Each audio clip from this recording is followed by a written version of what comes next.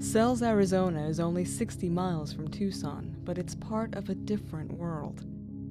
This is the desert where the Tohono O'odham have lived for generations.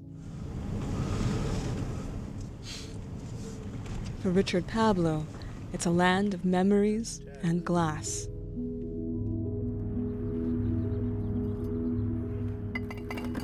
When I was growing up, a lot of people used to go out to the dances and they get beer, and it just seemed like fun.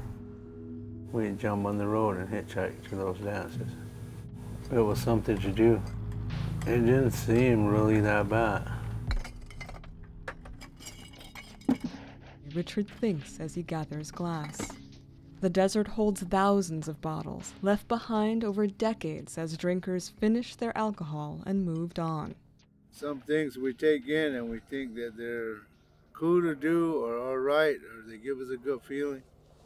And pretty soon, before you know it, it's, it's ingrained in us. And the next thing you know, it takes over us.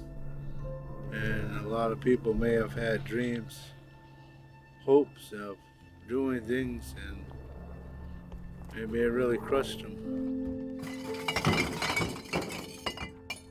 When you have groups of people that have uh, ex- experienced uh, cumulative trauma, that this trauma then is uh, transmitted from generation to generation if left unresolved. Edward Grijalva, a counselor and tribal liaison with Pascua Yaqui and Tohono O'odham roots, says that cumulative or historical trauma grew from the violence, displacement, and forced assimilation Native American communities endured. Now it lives on, he says, in cycles of abuse and addiction. It's a soothing mechanism where people are looking for some sort of relief. Although people don't uh, necessarily go to the liquor store and say, I'm, I'm experiencing trauma, can, you so I'm buying a six pack. But if, if generations before them were doing the same thing, then they seem to think that it's okay. So I grew up with just alcoholism, the alcoholism at home. I didn't have a father. As I grew up, I didn't really nobody. It turned really ugly after a while. After a while, it's almost dependent. You get dependent on it, and after a while, you're, well, for myself anyway, so I was lost in it. One day we were going to Phoenix. I was working for the district, and we we're going to Phoenix, and I, all of a sudden, butterflies were flowing through my body, and I didn't know what it was, and I had a stroke.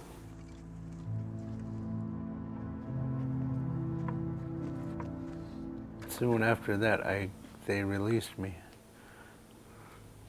Some of my family members came out and picked me up, but not even probably on a Wednesday.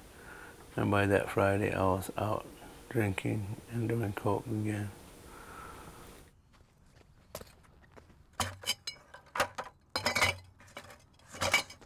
Nobody could stop me. And I didn't want to die with everybody feeling that way.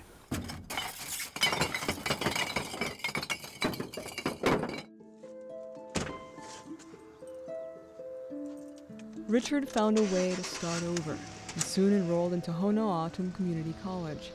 That's where he met environmental scientist David Stone. I was making some Adobe blocks and he came up and said, hey, I heard you were working on something interesting.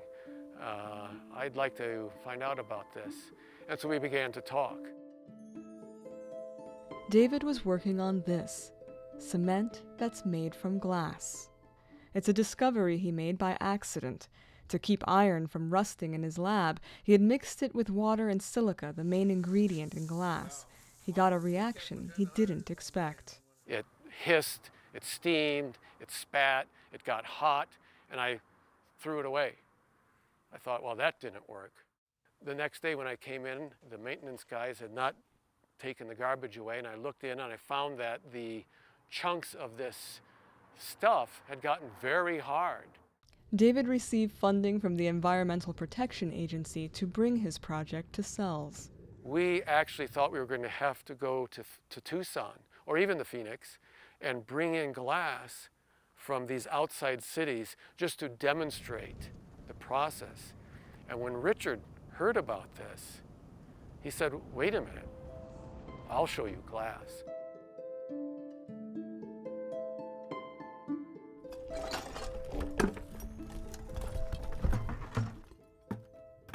Richard led him to all the drinking sites he knew, and the gathering began. The bottles are crushed into sand-sized and gravel-sized pieces, then combined with steel dust, water, and carbon dioxide. They react, and the iron rusts, creating a stone-like material. It's been used for several construction projects on the reservation, including a patio at the Tohono O'odham Nation Cultural Center and Museum. There used to be a big billboard, and it showed pictures of three O'odham women. And the words on the billboard were, We have been in this desert for 500 years.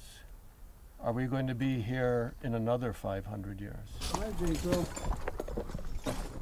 The rest of the world might fall, but I think so.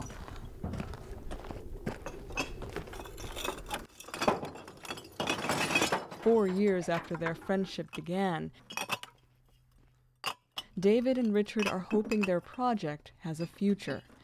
The EPA funding is now gone, but they have proposed that the Tohono Nation continue making the cement as a commercial venture, a chance to create jobs and help the O'odham build better lives. I had never heard the terms intergenerational trauma or historical grief. And when I did come out, I not only heard those terms, but I saw what they meant. Richard, uh, very early on, told me as we were driving away from a bottle collection site, he kind of looked at me and laughed in the way he does and says, You know, David, you are interested in recycling broken glass. I'm interested in recycling broken dreams. That's what I'm doing here.